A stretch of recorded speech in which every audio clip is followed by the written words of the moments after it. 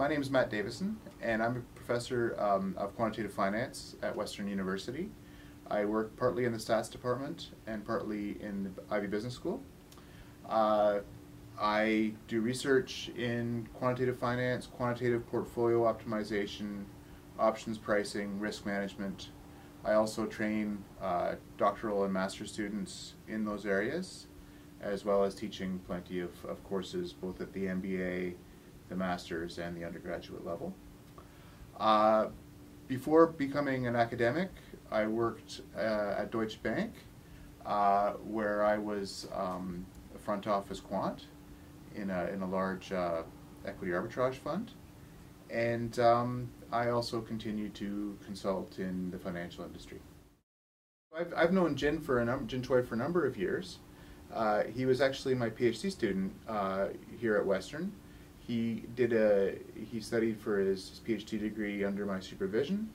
Uh, he wrote a really nice thesis on on actually modeling real estate prices and looking at the relationship uh, between real estate prices and uh, and solar power uh, companies, which obviously need to um, buy real estate to put their solar panels on.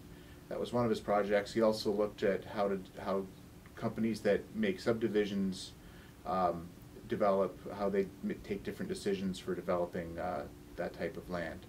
Um, so, and I've stayed in touch with Jin. Jin finished his his studies a number of years ago, but I've kept touch with them ever since, uh, and uh, I'm really excited about his his new company. So I, have been a member of MoneyGeek um, more or less since it opened, uh, and I really like the the website. I really like the services that that it, it provides. Um, the the first thing I really like about it is is the idea of of making a financial plan that incorporates the the truth that that markets do fluctuate.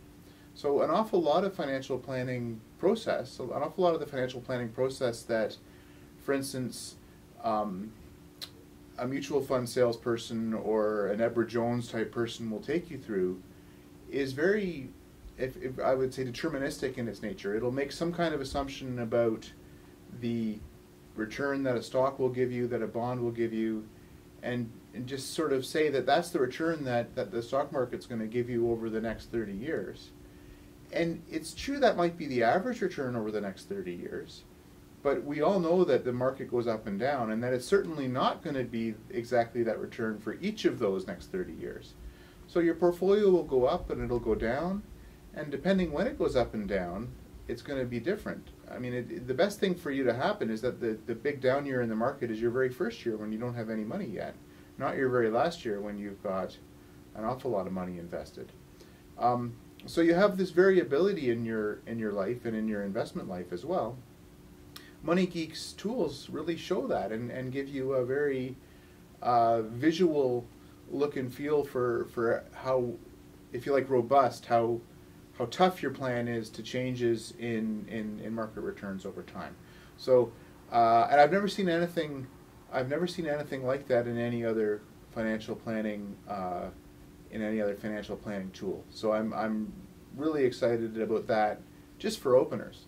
So once you've, once you've made your financial plan though, uh, what MoneyGeek does is it, is it allows you to look at some different off-the-shelf portfolios that, that the team there has, has constructed. Uh, and those portfolios are built on the platform of exchange traded funds. Uh, and that's very interesting because the, the real enemy to long term investing is transaction fees um, and, and management fees.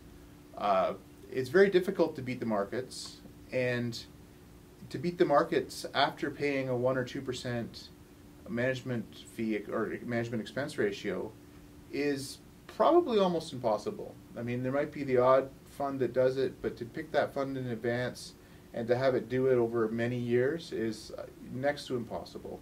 Exchange traded funds have very low uh, expenses, and so you're just trying to beat the market. You're not trying to beat the uh, the manager as well. Uh, so I, I, really like the different uh, portfolios that MoneyGeek has put together that fill different uh, relationships between risk and return. I think they've, they've been put together in a very solid way, and their behavior is already bearing out their, that how well designed they are. Well, I, I mentioned uh, earlier the more realistic um, recognition that, that markets go up and down and that it's not just the average return on a stock that matters, it's the distribution of those returns, uh, the variability year over year in the returns of a stock, and that MoneyGeek has tools for, for, for looking at that. So that that's a difference in, in that's a very particular tool MoneyGeek has that I haven't seen anywhere else. But I think taking a few steps back, the whole philosophy of MoneyGeek is actually quite different from that of a traditional financial advisor. Um, in that uh, MoneyGeek isn't actually managing your money per se. You're not writing a big check to MoneyGeek every month, and they're holding on to your uh, your money and and hopefully making it grow for you. That's how a typical financial advisor works, and uh, there's good and bad things to that. I mean, the, the good part about that is the financial advisor takes care of all the, the details of investing. The bad part of it, though, is it makes it, it can misalign the incentives between the advisor and the client. The advisor might be compensated for putting you into different um, products from time to time, um, and that it might not be in your best interests, uh, but it's in the advisor's best interest. Um, it's true you both have a uh, have, have the interest of growing your money, um, but there's something very clean about MoneyGeek's approach, where they give you the advice, and you do it yourself. By doing it yourself, you also learn how it works. Um, and I think you become a more knowledgeable investor over time rather than just letting someone else take care of what, after all, is a very important set of decisions in, in your life. I, I think so. I mean, the the uh, the directions, the the proportions that you need to invest are well defined. You just need to put it together. Um, you know, people do a lot of things in their day-to-day life that require some skill. Um, cooking is, for instance, uh, difficult. You need to measure the ingredients and you need to put them together, and you actually even need to have some physical skills to be a good cook. You need to know, uh, you know, when to turn things. You need to be able to um, understand the, the physical properties of your oven, your barbecue, what have you. Uh, I don't think that it's any harder to follow MoneyGeek's instructions than it is to bake a batch of chocolate chip cookies. Um, now, do you want it to be easier to invest your life savings than to than to bake a batch of chocolate chip cookies? I, I, I think that's a little bit delusional. I mean, I, I think that we we all put a lot of effort into many things in our personal life. I mean, people may put a lot of effort into into finding the best exercise program that works for them and following it. This is actually much easier than that because you don't actually have to go do the runs or do lift the weights. You just need to figure out what the right program is, and every so often monitor how it's been going, and uh, uh, make the relevant changes. So. Um, the other thing people worry about is that they're going to make a big mistake and it's going to uh, cost them a lot of money. And this is one of the places where if you start investing young, it's actually very forgiving because let, let's suppose that in the first year you're investing, you invest $1,000. Now, it may have been quite hard for you to save $1,000. Um, and you invest $1,000 and you do really badly and you lose 300 of those $1,000. So you have a 30% loss. Well, that's going to be disappointing, but at the end of the day, it's only $300.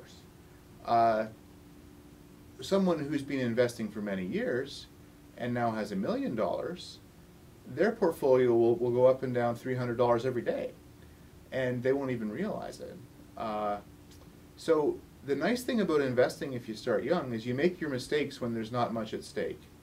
Um, if you let someone else take care of everything for you, and then you start investing on your own when you're in your 50s, uh, then you're going to make your mistakes when you have a lot more money a lot more skin in the game, and your mistakes are going to be costly and painful. So uh, I guess that's how I'd respond to, to those concerns.